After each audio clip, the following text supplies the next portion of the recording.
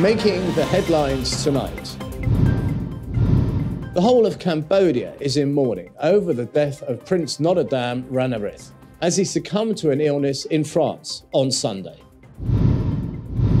The Prime Minister of Laos, Phankham Viphavanh, arrives in Cambodia, visiting King Norodom Sihamoni, Prime Minister Hun Sen, and other Cambodian leaders. And thousands of monkeys in Thailand feast after the town's monkey festival resumes. This is the daily roundup on the EAC News channel. A very good evening to you. My name is Paolo Bonini. Cambodian leaders have expressed their grief and condolences on the sudden death of Prince Norodom Ranariddh. Ranariddh has succumbed to his illness on Sunday morning in France.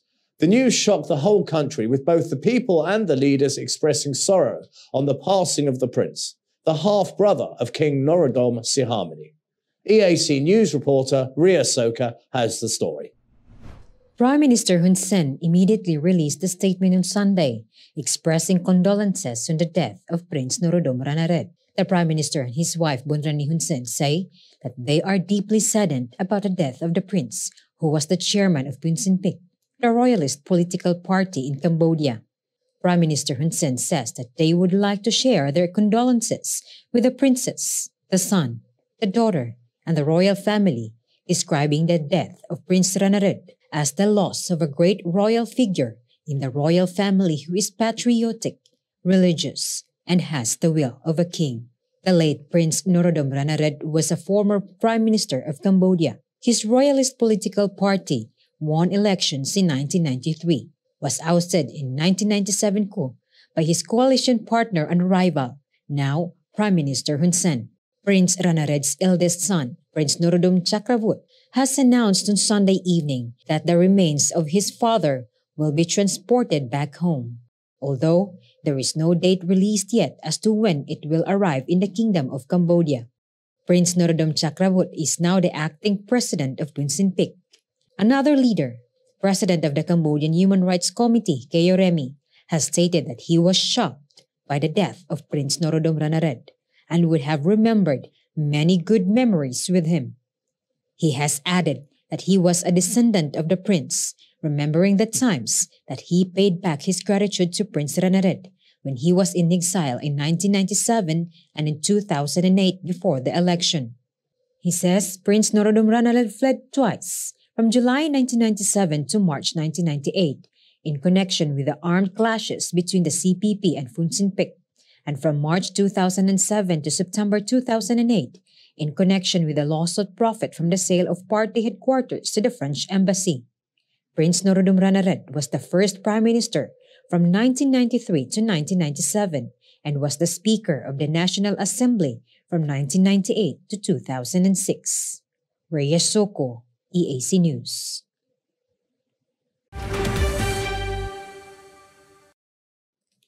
The new ambassador of the Czech Republic in Cambodia has pledged to work hard to encourage Czech investors to invest in Cambodia. The statement was made in response to a request made by the President of the National Assembly, Heng Samrin, to the Czech Republic to further promote cooperation between the two countries in the fields of trade, investment, and tourism in the post pandemic context. EAC News reporter Darshana Gochan has them all. The new ambassador of the Czech Republic in Cambodia, Martin Vavra, has paid a courtesy visit to the President of the National Assembly, Heng Samrin, on Monday morning. Heng Samrin welcomed and congratulated Martin Vavra for his new appointment by the Czech government as ambassador to the Kingdom of Cambodia. The National Assembly president says that Cambodia and the Czech Republic have been linked and cooperating with each other for a long time, a partnership which the two nations have always benefited from. He has also acknowledged that the Czech Republic has contributed greatly to the development of Cambodia and requested the ambassador to further promote trade, investment, and tourism in the present post pandemic context. Ambassador Martin Vavra has agreed to the request and informed the President of the National Assembly that he will further study the promotion of trade cooperation between Cambodia and the Czech Republic, looking at examples of Czech companies investing in neighboring Southeast Asian countries, Thailand and Vietnam. The ambassador further highlighted that the Czech Republic has provided a lot of bilateral assistance to Cambodia in the areas of health and education, such as the recent provision of medical equipment to Takeo Provincial Hospital. He has stated that the Czech Republic will continue to provide humanitarian assistance and support to Cambodia, especially in the form of scholarships for students and Cambodian government officials who wish to study in Czech Republic. Heng Samrin has acknowledged the well-established education system of the Czech Republic, citing the example of King Norodom Sihamoni, who also studied there in his youth. He further stated that he believes the new diplomatic mission of the Czech Republic in Cambodia is very important and will continue to further enhance existing ties of friendship and cooperation between the two countries. Darshana Gochan, EAC News. The Prime Minister of Laos, Phankham Viphavanh, has led a delegation paying an official visit to Cambodia on Monday. His visit was in response to the invitation of Prime Minister Hun Sen. One of the priorities on his two-day visit in the kingdom is also to visit King Norodom Sihamoni. Lao Prime Minister Phankham Viphavanh first scheduled to visit was the president of the Cambodia Lao Friendship Association and Secretary of State of the Ministry of National Defense, General Neang Phat.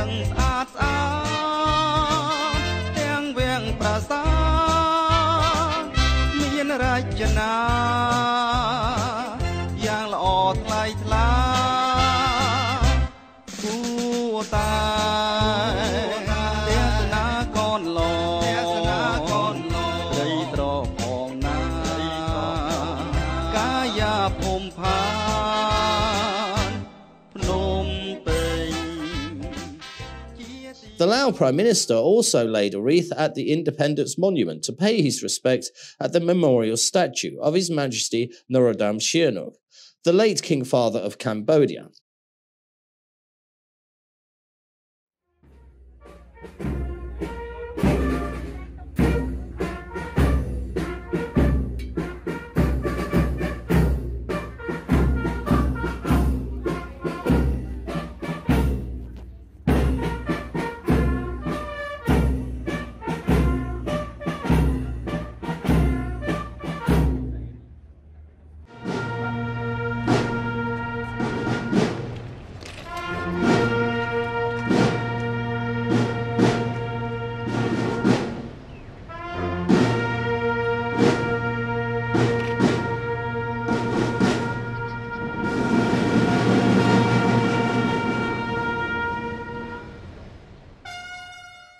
Then he proceeded to the Peace Palace to meet with Prime Minister Hun Sen. Prime Minister Hun Sen and his Laotian counterpart meeting focused on bilateral relations and enhancing cooperation between the two nations in the post-COVID-19 socio-economic, as well as exchanging views on regional and international issues. The aim of the two-day meeting is to work on a long-lasting comprehensive strategic partnership and enhance cooperation between the two countries, as well as within the ASEAN framework for peace, stability and prosperity in the region.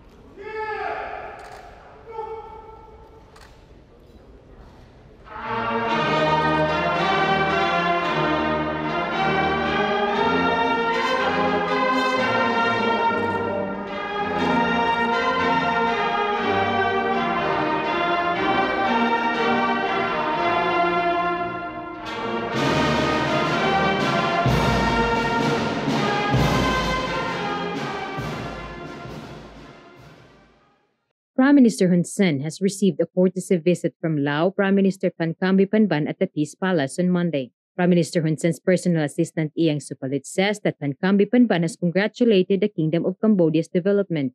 He stresses that his current visit shows Cambodia is progressing, especially Phnom Penh. The Prime Minister of Laos also congratulated the Cambodian Prime Minister on his success in all fields, including the recent Asia Europe meeting and the upcoming ASEAN chairmanship next year. In this regard, he has also expressed his support and promised to cooperate and help Cambodia to lead ASEAN success in the future. Prime Minister Viphavanh has mentioned that Cambodia and Laos have a long history of friendly relations on culture and traditions. He has also added that Cambodia and Laos may have changed, but the spirit of people to people remains the same. The Lao Prime Minister has made eight requests to Prime Minister Hun Sen. First is to expand and strengthen cooperation with each other, to continue the exchange of visits between the two nations, and to promote the completion of previously agreed work. Second, continue to discuss and negotiate how to complete the cooperation agreement and the comprehensive partnership. Third, to continue the meeting through the existing mechanisms. Fourth, continue to urge the Joint Boundary Commission to continue working to achieve the goals achieved by the leadership. Fifth, to promote trade cooperation between the two countries. Sixth, to promote cooperation in the fields of education, culture, and tourism, as well as other areas that are potential for both countries. 7. Promoting the private sector, the investment between the two countries, and supporting investors between the two nations. And lastly, promoting cooperation in regional and international forums. In response, Prime Minister Hun Sen has thanked Prime Minister Phankham Viphavanh for supporting Cambodia as the chair of ASEAN and attending the ASEAN meeting, supporting Cambodia as the previous ASEM chair, which made Cambodia successful. The Cambodian Prime Minister fully supported the eight points raised by his Lao counterpart. In the field of tourism, the Prime Minister of Cambodia asked Prime Minister Viphavanh to consider allowing the two people to travel to each other, as this is mutually complementary sector. Prime Minister Hun Sen has also expressed support in the investment sector to encourage and support investments between the two countries, as investment is the basis for strengthening political cooperation. Prime Minister Hun Sen took the chance to inform Lao Prime Minister Phankham Viphavanh of Cambodia's assistance to Laos in the amount of $13 million, of which the $3 million comes from the royal government of Cambodia's budget and $10 million from philanthropists. The Kingdom of Cambodia is also provided with 500,000 doses of Sinovac vaccine and two vaccination vehicles to the Lao People's Democratic Republic. The Lao Prime Minister has also expressed his condolences to the death of Prince Norodom Ranariddh, to the royal family, and to the whole Kingdom of Cambodia.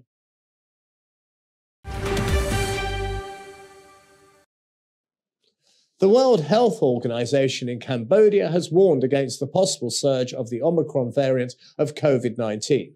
This new variant was first reported to the WHO in South Africa on November the 24th and is now being discovered in countries around the world.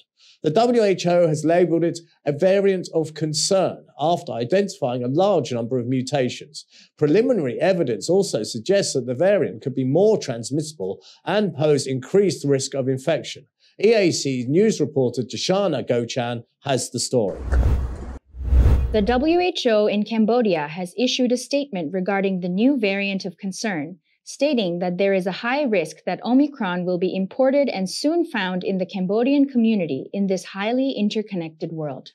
The WHO stresses that the Omicron variant has a large number of mutations, some of which are quite concerning, with early evidence suggesting that this particular variant of concern could be more easily transmissible and also pose an increased risk of reinfection. On a positive note, the WHO stated that PCR diagnostics continue to be effective in detecting the Omicron variant, ensuring that its spread can be efficiently tracked. However, they still emphasize the need for caution and vigilance among citizens. WHO representative to Cambodia, Dr. Li Ailan, has stated that Cambodia should be concerned about the newly detected variant of concern, Omicron, despite the high COVID 19 vaccination coverage. She further added that everyone should be ready for a possible surge and we should continue to learn and adjust our response measures. In response to the growing global alarm over the new variant, the Cambodian Ministry of Health has said that they do not yet plan to ban entry of flights from certain African or European countries where the Omicron variant has been detected. Ministry of Health spokesperson Au Van has stated that Cambodia has now entered the new normal, and this must be maintained for the sake of stability. She has stated that since the country has opened up, there are no plans to suddenly close again. Instead, Or Vandine has stated that more attention will be paid to the entry and movement of people from countries of concern, including conducting COVID 19 tests on arrival and isolating positive cases in treatment centers. Darshana Gochan, EAC News. The Kingdom of Cambodia has received more than 188,000 doses of the Moderna vaccine on Sunday. The donations were given through the COVAX facility program. This is the first time Cambodia has received the Moderna brand, enabling Cambodia to diversify its vaccine portfolio. EAC News reporter Yuri Matosko has the details. Around 6 p.m. on Sunday, at the Phnom Penh International Health Ministry Secretary of State Yok Sambath received the donations, along with the World Health Organization representative to Cambodia, Dr. Li Ailan and UNICEF representative to Cambodia Foroogh Foyouzat. The COVAX facility is an initiative promoted by the World Health Organization in partnership with international development organizations to provide vaccines for poor or developing countries. Cambodia has already received 3 million doses of vaccines through the COVAX facility program. As the largest single vaccine buyer in the world, UNICEF is the leading procurement and supply agency for COVAX. UNICEF representative to Cambodia Foroogh Foyouzat has stated that through the COVAX facility, Cambodia has received about 60% of the scheduled total doses of vaccines. It is expected that by the end of this year, the AstraZeneca and Sinovac vaccines will be available in the kingdom. According to the Health Ministry Secretary of State Yok Sambath, the newly arrived Moderna vaccines will be taken to a warehouse before being distributed to areas where lacks vaccination to people that are still not inoculated.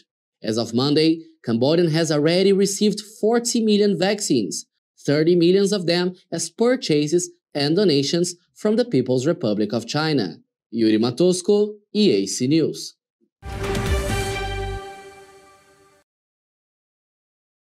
You're watching EAC News. Thanks for joining us.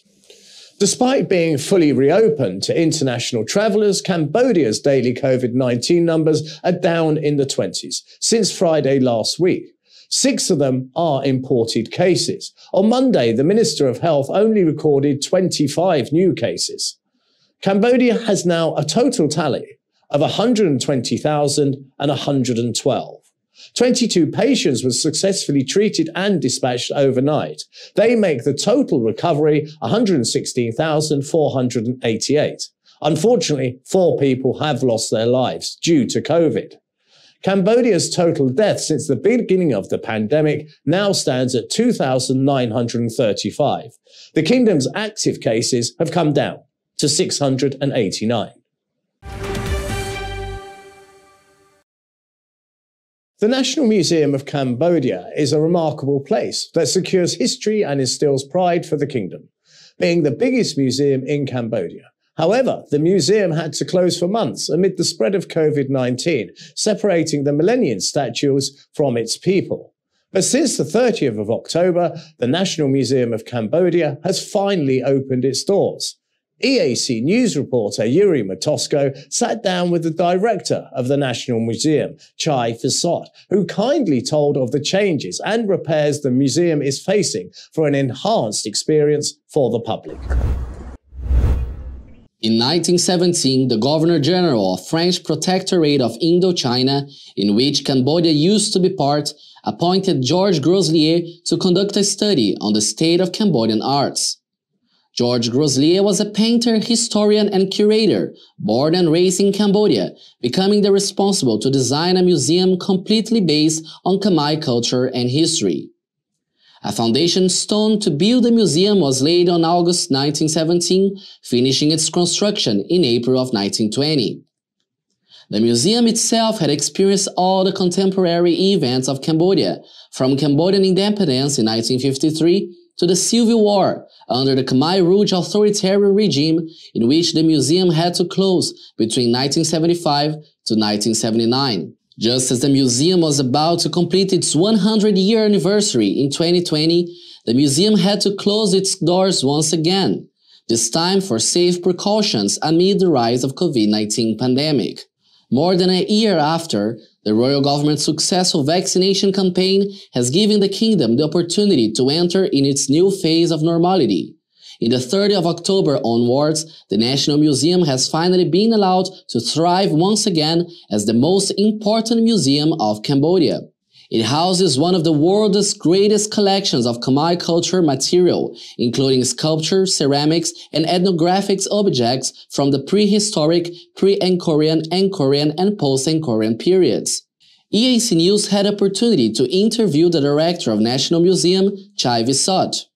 Visoth says that although the closure of the National Museum had distanced the public from its exhibition, it gave more time for essential repairs at the building. Uh, during the, the closing, um, yeah, we have uh, great benefits from this in terms of uh, spending time for the conservation and restoration of the building.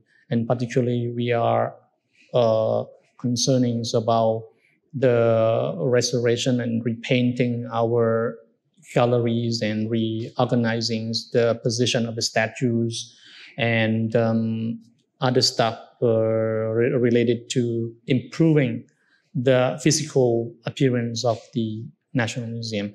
I think, um, yeah, that is uh, a great uh, achievement that we have done in order to be ready, not completely 100% ready for reopening, but at least uh, after the government uh, announce or allow us to reopen, we most of the part that we are prepared uh, has been done, except for the restoration of the roof.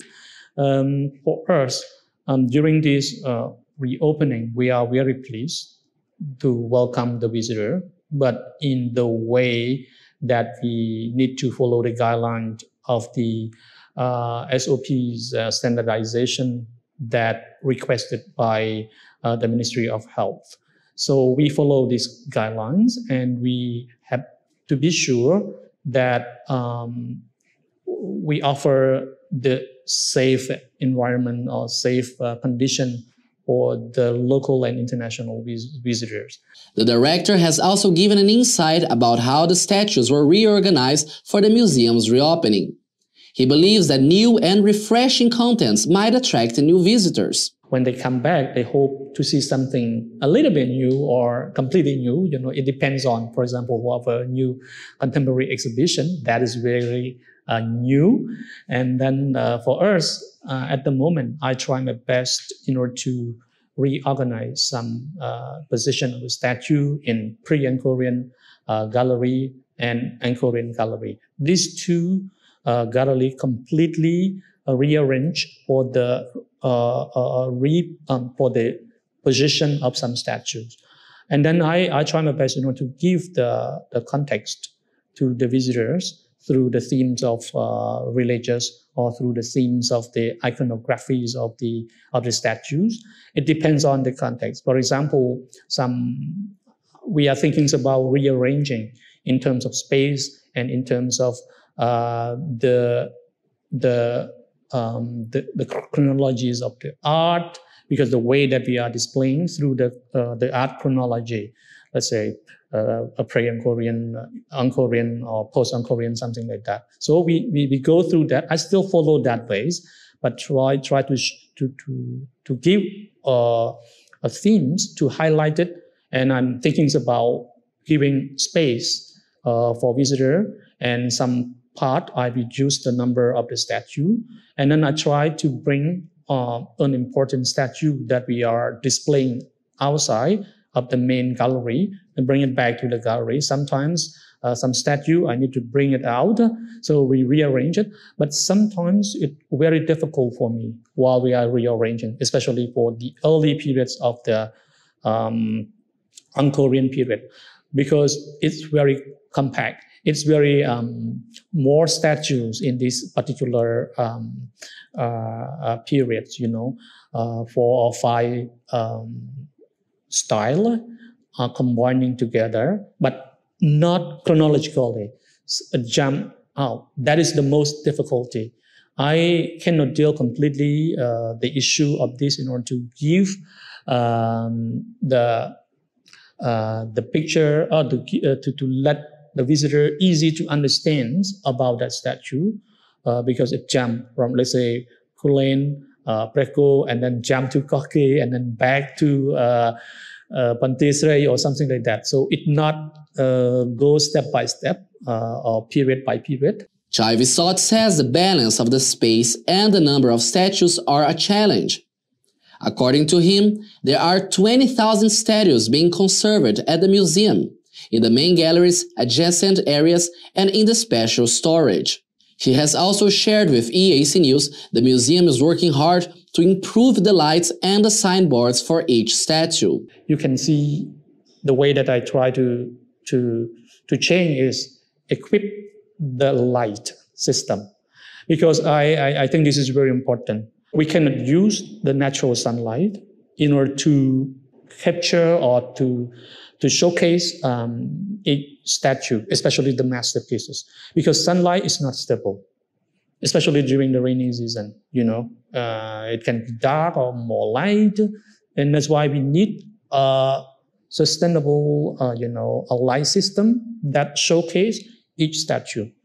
You know, this attract me the most because the feeling when we send our statue abroad, and then they put in their galleries and they use the light system, it seemed to be the same object. It would be more, uh, you know, um, um, how can I say, um, uh, attraction than, than, than the, the, the, the statue that we are displaying in our gallery because of uh, the, the, the, the light system. This is very important. The director of the National Museum is confident that in the future, young generations will be more involved in arts. I have known that one big project that uh, uh, uh, funded by the Japanese uh, government in order to introduce art into the public school. This is the big wave for younger generation of Cambodian started to love art. I know in the past we have art, we have handicraft work, you know, activity, but not completely focused um, to art, painting, drawing, or something like that. Not, not really strongly push younger Cambodian students to love art. It, it completely are different from uh, you know private school, especially for international school. They have the curriculum art in their curriculum. That's why I'm very happy that I can see the publication of the book that will be introduced to the public school in the near future soon. This is what I can see that uh, the context of art would be absorbed into the level of the public school to the younger generation of the public uh, student of the public school. The National Museum of Cambodia opens from 8 a.m. until 5 p.m. The tickets stop selling at 4.30 p.m., costing 500 rials for Cambodian. For international tourists aging 18 years old and up, the tickets are costing $10 and $5 for international tourists from the age 10 to 17 years old. Tour guides can be arranged in English, Khmer, French, and Japanese at the museum's main entrance. Yuri Matosko, EAC News, the National Museum of Cambodia, Phnom Penh. The 13th Asia Europe meeting has concluded on Friday. The two day virtual convention, chaired by Prime Minister Hun Sen, was attended by 50 countries and was heralded as a success, proving exceedingly valuable in bringing closer ties to all the ASEAN members who attended. The leaders and partners of the 13th Asia Europe meeting have expressed gratitude to Cambodia's chairmanship of the summit. They appreciated the beneficial outcome of the two day virtual convention, along with its side events. The ASEAN 13 that was held from the 25th to the 26th of November was attended by over 50 heads of state, high level representatives, and participants of ASEAN countries from Asia and Europe. The President of the European Council, the President of the European Commission, and the Secretary General of ASEAN, chaired by Prime Minister Hun Sen. Leaders have reaffirmed the importance of this partnership between Asia and Europe under the theme Strengthening Multilateralism for Shared Growth. The theme is based on consensus, equal partnership, mutual respect, and mutual benefit to further advance a robust, inclusive, and open multilateralism capable of addressing global and regional issues, particularly the COVID 19 pandemic. Prime Minister Hun Sen has praised the active participation of the European leaders as well as the contribution in boosting the EU ties. The Prime Minister has expressed his pride as Cambodia has successfully hosted the ASEM 13. While celebrating the 25th anniversary of ASEM, leaders took stock with satisfaction of the progress made and achievements gained since its inception in 1996, and were committed to the further enhancing and cooperation between partnership and connectivity between Asia and Europe. Leaders encourage all ASEM partners to place sustainability and resilient measures at the center of their recovery plans, including but not limited to accelerating the transition towards affordable, reliable, sustainable, and modern energy, and ecosystem protection and restoration. Several countries around the globe have already reported confirmed cases of the COVID 19 Omicron variant. This has led to some travel restrictions fueled by fears that the variant may create another surge of more serious COVID 19 cases. The South African president, Cyril Ramaphosa, has announced on Sunday that he is deeply disappointed by the decision of Western countries prohibiting travel from a number of South African countries, following their earlier discovery of the COVID 19 Omicron variant. South African officials are furious about a British ban on flights from Southern African countries, on which several other countries followed suit. Many South Africans feel they are being punished for their transparency and hard work in keeping tabs on the way the virus is mutating, which started in Gauteng. South African President Cyril Ramaphosa says it is completely unjustified departure from the commitment that many of these countries made at the meeting of the G20 countries in Rome last month. He says the action is unfairly discriminating against South Africa and the prohibition of travel will not be effective in preventing the spread of this Omicron variant. He has added that the only thing the prohibition in travel will do is to further damage the economies of the affected countries and undermine their ability to respond to and also to recover from the pandemic. Scientists have so far detected the new Omicron variant in relatively small numbers, mainly in South Africa, but they are concerned by its high number of mutations, which raised concerns that it could be more vaccine resistant and transmissible. The Omicron variant of COVID 19, which has a large number of mutations with worrying characteristics, has so far been detected or suspected in multiple countries around the world, including the UK, Germany, Australia, Denmark, and the first case in Europe was reported in Belgium on Friday, then in Egypt. The Omicron variant, or the B11529, was first reported to the World Health Organization by South Africa on 24 November and the first known confirmed B11529 infection was from a specimen collected on 9 November. Following worrying initial studies, the WHO on Friday classified the new COVID 19 strain as a variant of concern, naming it the Omicron variant during an emergency meeting. A day later, British Health Secretary Sajid Javid has confirmed two cases of the Omicron coronavirus variant have been detected in Britain, in Chelmsford, and Nottingham. To curb the spread, four more countries were added to Britain's travel red list on Sunday Angola, Mozambique, Malawi, and Zambia. The British government has previously added South Africa, Botswana, Lesotho, Eswatini, Zimbabwe, and Namibia to the country's travel red list. And Saturday, Germany reported its first two confirmed cases of the Omicron variant found in southern state of Bavaria. Moreover, 50 passengers from Cape Town who arrived on Friday are now under quarantine in Bavaria, with two of them having tested positive for the coronavirus. It remains unclear whether it is the Omicron variant, and investigation is now underway. On 27 November, Italy has also reported it detected its first case of Omicron on a traveler that recently returned from Mozambique. Dutch health authorities have confirmed that 13 cases of the new Omicron coronavirus variant have been found in the Netherlands among passengers that were on two flights from South Africa that arrived on Friday.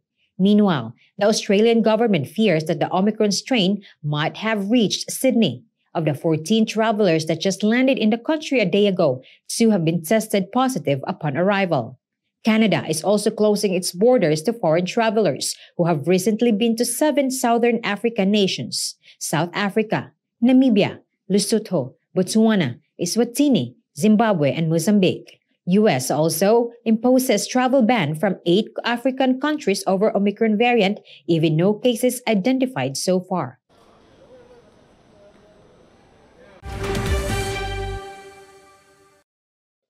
Ousted Myanmar leader Aung San Suu Kyi has braced herself for a verdict in her incitement trial against the country's military rulers, the first in a catalogue of cases that could see her jailed for the rest of her life. The democratically elected leader faces years in jail if she is found guilty of charges that also include corruption, fraud, and breaking COVID rules. A court in Myanmar is expected to deliver a verdict on ousted leader Aung San Suu Kyi on Tuesday. The verdict will be the first in Suu Kyi's trial. She is facing 11 criminal cases with maximum sentences that total more than a century in jail. Those include corruption and violating the Official Secrets Act. Suu Kyi's court hearings are being conducted behind closed doors, and defense lawyers, the only source of information on the proceedings, are imposed with gag orders by the authorities. The Nobel laureate has been detained since the generals ousted her democratically elected government on the 1st of February. More than 1,200 people have been killed and over 10,000 arrested in a crackdown on dissidents. According to a local monitoring group, Aung San Suu Kyi faces three years in jail if found guilty of incitement against the military. The charge is one of several these analysts lists say are aimed at removing the high profile figure from the political arena for good. The court has been hearing testimony related to the charges of incitement, which is sometimes referred to as sedition. The offence is defined as spreading false or inflammatory information that could disturb public order. But the junta's plans for Aung San Suu Kyi remain unknown. They add, and the authorities could also delay the verdict. Journalists have been barred from proceedings in the special court in the military built capital, and her lawyers are banned from speaking to the media.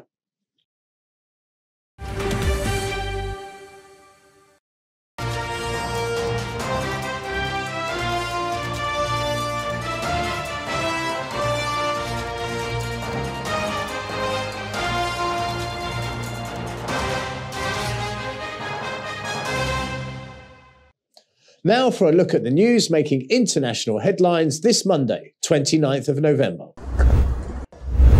A 7.5 magnitude earthquake has shaken the remote Amazon region of northern Peru on Sunday and was felt as far as Lima in the center of the country. It has destroyed 75 homes, but with no deaths reported, but leaving structural damage. The Seismological Center of the Geophysical Institute of Peru has reported that the earthquake has a depth of 131 kilometers and that the epicenter was 98 kilometers from the town of Santa Maria de Nieva in the province of Condorcanqui. The quake was felt throughout the central and northern Peru. Some residents left their homes as a precaution. Part of the church tower on Jalca Grande, which is considered as national heritage, has collapsed. Peruvian President Pedro Castillo Terrones has checked the damage caused by the quake.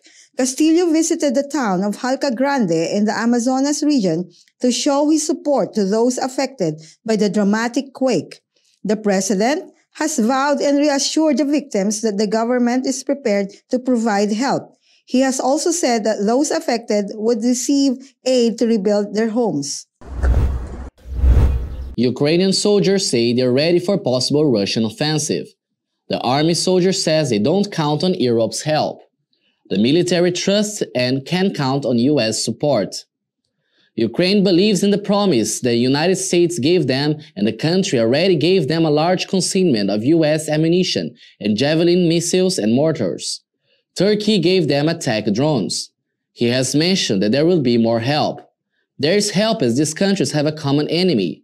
Ukraine force says they are not afraid. It's just a war. Fear is just a thing. It's a bad idea to be afraid when someone comes to your house and you're hide in your basement. It won't work. One should get up and go to fight. It's a luck of a draw. Ukraine's military is confident that they have the ability and is ready to repel any attacks. Ukraine's military intelligence said last week that Russia have more than 92,000 troops have massed around Ukraine's borders and was preparing for an attack by the end of January or beginning of February. Moscow dismisses it as false and alarmist.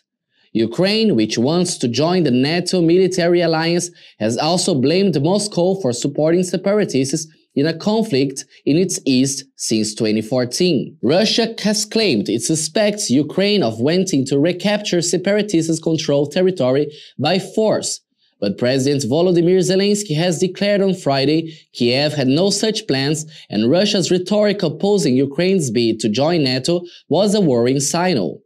Ukraine force-controlled borders are, aren't fully prepared for any escalation. The president says in case of an attack, they have means for defense, and they are fully prepared. Italian scientists from Bambino Gesù Pediatric Hospital in Rome have published on Saturday the world's first photo of the newly identified Omicron coronavirus variant. The image in the photo shows the Omicron variant has more mutations in spike protein, the region that interacts with human cells prior to cell entry, compared with the highly infectious Delta variant. Scientists have claimed that the findings do not directly suggest the mutations are more dangerous.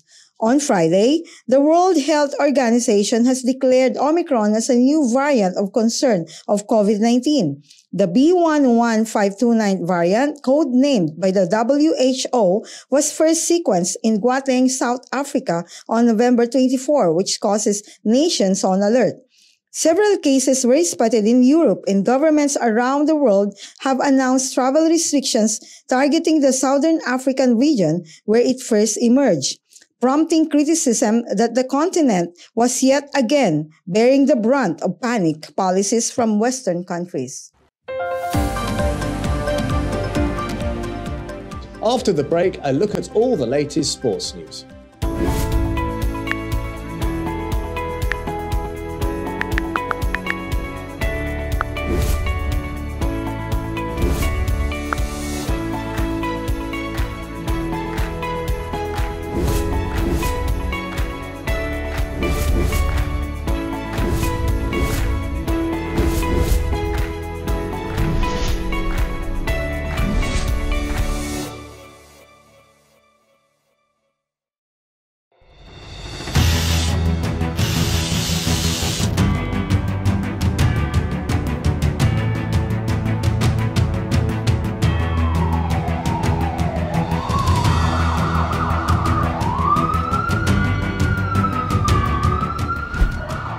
EAC News fully supports the Royal Government of Cambodia's preventative and administrative measures against COVID 19.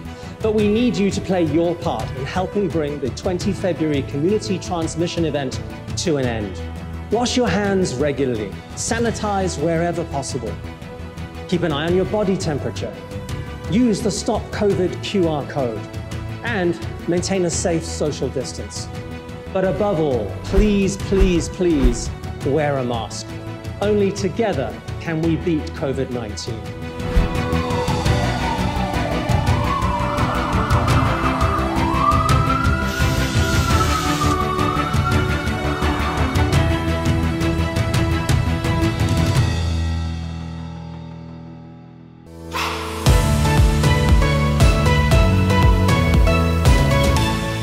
EAC News' audience is growing. Our YouTube channel has over 150,000 verified subscribers. To mark the milestone, we've received the Silver Creator Award from YouTube. It's given to channels with over 100,000 subscribers. YouTube CEO Susan Wojcicki says the award celebrates EAC News' hard work and incredible achievement. She says we brought a unique voice and style to the world but have also created valuable connections and built a community along the way. The next milestone we're going for is 1 million subscribers, and we'd really like that Gold Creator Award. So if you're not already a subscriber, head to YouTube and search for EAC News. Subscribers get alerts when the daily roundup is premiering and live events are streaming. Get all the latest breaking news and updates from Cambodia in English. The EAC News channel on YouTube. Cambodia made clear.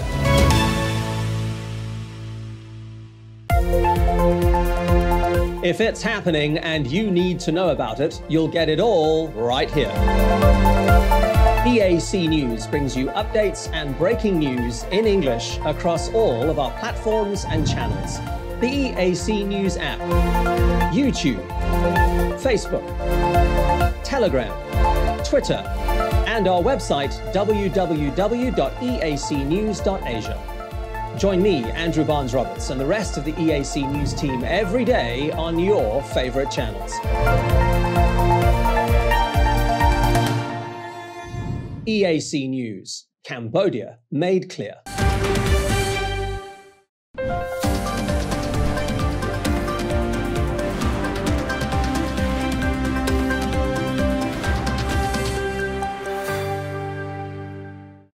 Members of the Qatar national soccer team took time out from their preparations for the Arab Cup on Sunday to hold a training session with some tournament volunteers. The 16 team competition runs over the next three weeks and is a dress rehearsal for next year's World Cup, which will take place in the Middle East for the first time.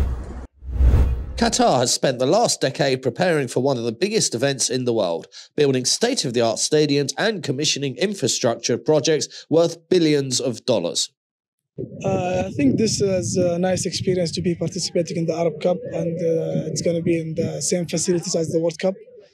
And uh, it's going to be a nice experience also to uh, to be ready for the World Cup. The 5,000 volunteers for the Arab Cup will be drawn from Qatar's diverse expat population, with dozens of nationalities represented, as well as a small number of people coming from overseas. Uh, I would really recommend other people to become volunteers. It's uh, like you learn a lot, you gain a lot, and you also give your skills and what you have, and you meet people from all over the world. It's like a big melting pot, one big happy family. More than 35,000 people apply to be a volunteer, with those chosen helping fans, players, and media at the tournament, which will end on December the 18th, exactly a year before the World Cup final.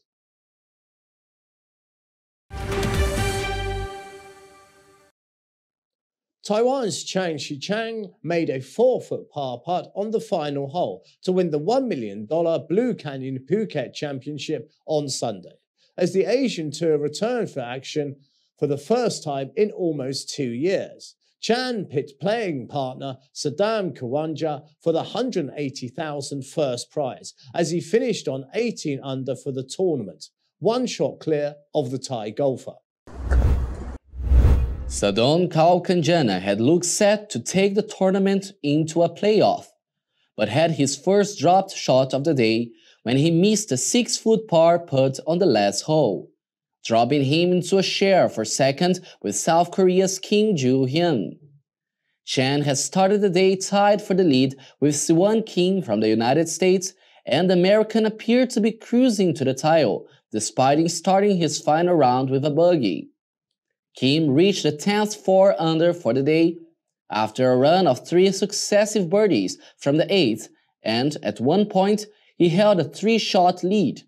That all changed on the back 9. A bogey at the par 4 13th reduced Kim's lead to a single stroke and by the time he had rolled out at the 15th, the 33-year-old was in a three-way tie with Sadom and Chan who had pulled level on 17 under after both birdied the par 5.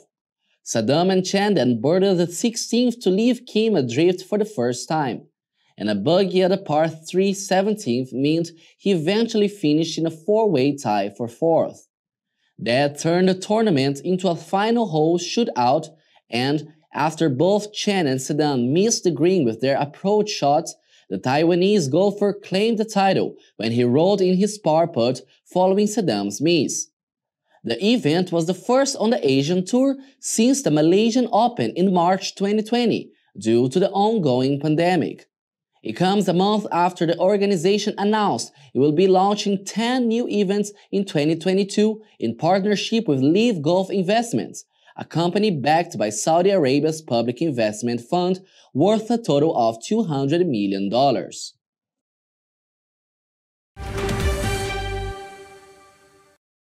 Now let's have a look at the weather and see what you can expect for tomorrow.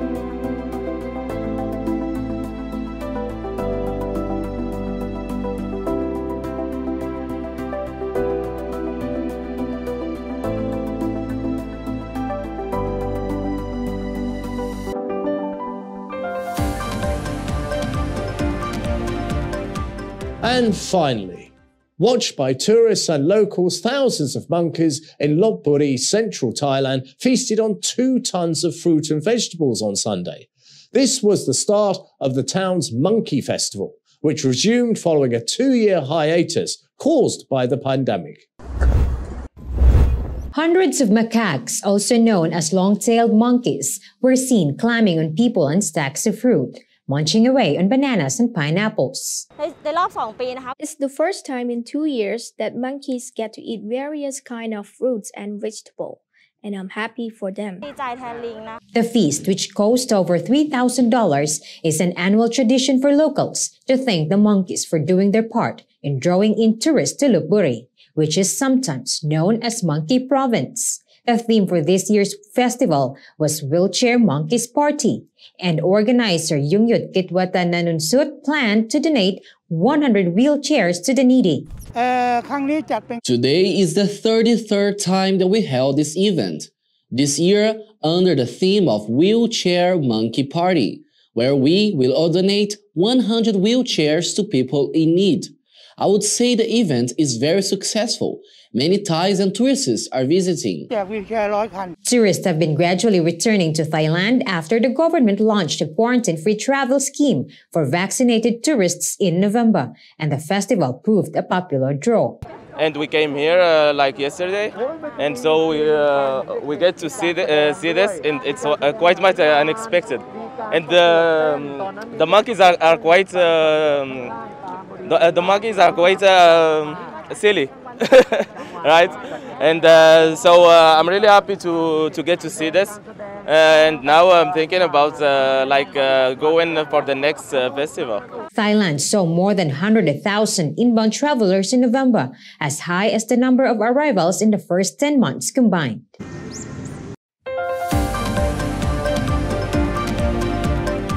Thank you for watching the Daily Roundup here on the EAC News channel.